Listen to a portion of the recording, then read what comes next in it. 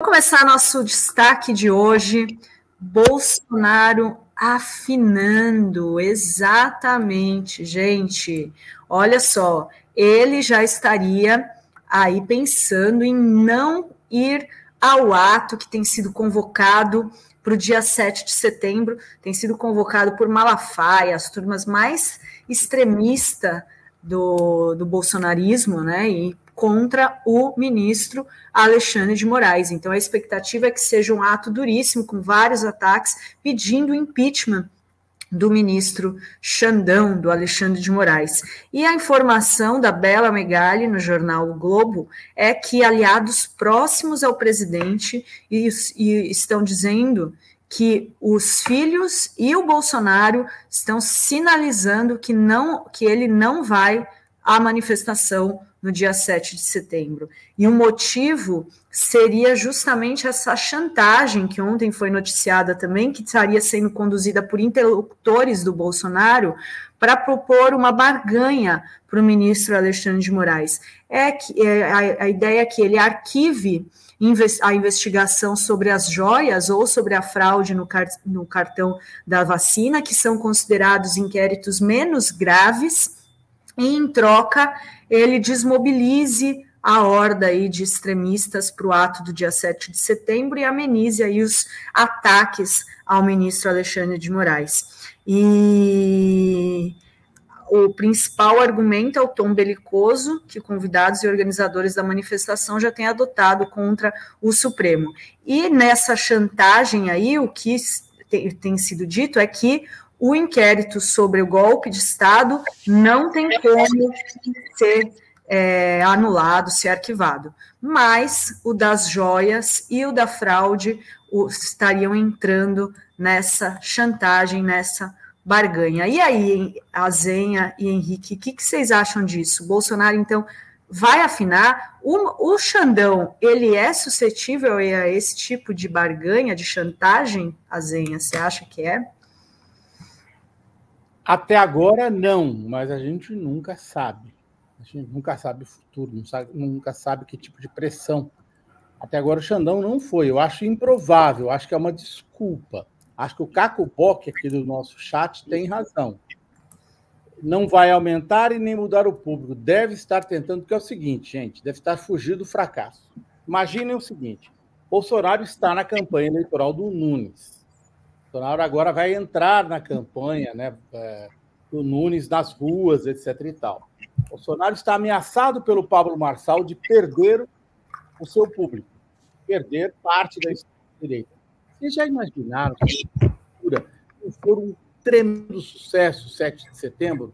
Não absolutamente lotar a Paulista. Se for uma coisa pequena, o Bolsonaro comparecer, ele está perdido. Em termos de imagem dele, ele está perdido, porque ele está perdendo o público, polemizando com o cara da extrema-direita, que está tomando o público dele, que arrisca ganhar a eleição em São Paulo. A gente não, não ganhou ainda, mas tem chance, Pablo Marçal, de ganhar a eleição.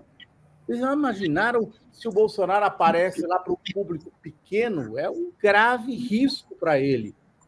Entendeu? Ele deve estar tá deixando ou esperando ver se, se rola, ou é melhor eu me garantir. Eu estou na campanha do Nunes, não vou, porque aí ele não indo, o Nunes também não vai. Né? A expectativa é que o Nunes comparecesse. Eu duvido que o Nunes vá comparecer. Eu duvido, pessoal. Nunca se sabe. Eu acho que ele não vai. Por que você acha que ele não vai, Ele é um cara do establishment. Ele não vai querer peitar o Moraes e entrar numa de extremista, porque ele pode encarar um segundo turno contra o Boulos e ele muito, absolutamente do colo do Bolsonaro. Se ele for lá, ele vai ter que atacar o Xandão. Que tipo de discurso o Nunes vai fazer lá que não pode. Ele pode ser vaiado pelo público bolsonarista, o Nunes. É. Que, e, e o Marçal não vai ser convidado, né? Não, o Marçal não vai ser convidado por causa do Bolsonaro, mas vai ter o Malafaia. Mas se o Nunes for lá e não fizer um discurso contundente, ele pode aparecer e sumir, e sair. Possível. Né? Eu duvido. Eu duvido que ele vá falar o Nunes, porque ele se expõe. Imagine num segundo turno contra o Boulos a imagem do Nunes associada aos extremistas bolsonaristas, negacionistas, indo para a cadeia.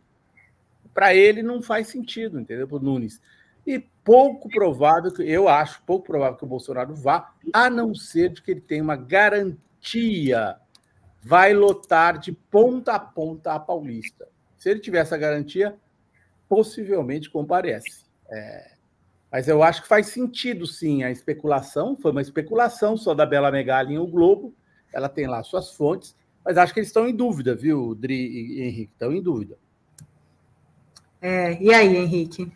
Eu concordo com a Zé em relação ao Nunes, que, assim, de fato não vai aparecer, e me parece por uma razão óbvia. Ele vai receber uma vai estrondosa se comparecer a esse ato, porque quem monitora as redes bolsonaristas sabe que ele é uma figura detestada, mesmo por quem está votando nele por ordem do Bolsonaro, ele é um sujeito muito questionado.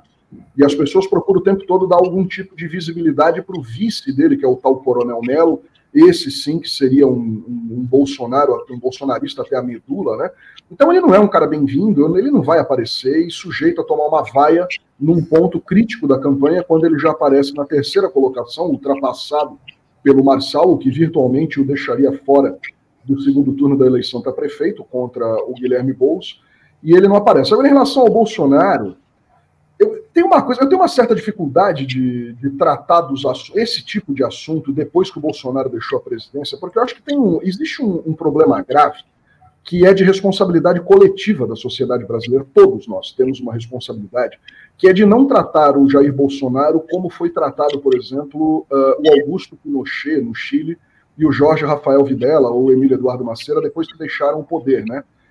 É, esse cara, ele continua nas manchetes aí, ele agora vem com uma espécie de um achaque, ele vem com chantagens para cima do Poder Judiciário, né, e nomeadamente para cima do ministro Alexandre de Moraes. Ele tem um comportamento suicida politicamente, e é incrível como ele não morreu politicamente até agora com esse comportamento suicida, porque é um sujeito que responde, inclusive, por essa insurgência contra o regime democrático brasileiro, e isso já começou naquele 7 de setembro de 2021 e depois de 2022, quando ele fez aquela pataquada toda, dessa foto que estava ilustrando a matéria aí agora há pouco, né? Então, assim, o cara já fez tudo isso, já foi levado ao judiciário por causa disso, isso é um flagrante crime contra o ordenamento jurídico brasileiro, e ele ameaça fazer novamente um levante desse, agora pelo seu segundo ano seguido, fora da presidência da República, como réu em três inquéritos que tramitam no Supremo Tribunal Federal, querendo retirar acusações no caso do roubo das joias, da falsificação da carteira de vacinação. É de um disparate completo. Ele é um sujeito muito petulante, ele é um suicida político. Por outro lado, eu acho que esse, essa tendência suicida política dele pode ter um freio aí, pode ter um limite. Eu acredito que ele, no fim né, das contas, acabe não comparecendo a esse ato, porque realmente ele ia ficar muito na chuva. Né? Ele ia ficar numa posição muito complicada. Imagina que esse achar que não dê certo e ele tem aí mais um novo problema pela frente para enfrentar é, com a justiça, dependendo do que ele falar e com certeza do que o Malafaia vai falar. Né? A situação é, é muito, é muito delicada, mas eu tendo a acreditar sim que o Bolsonaro pode é, acabar não aparecendo nesse ato aí marcado para o 7 de setembro.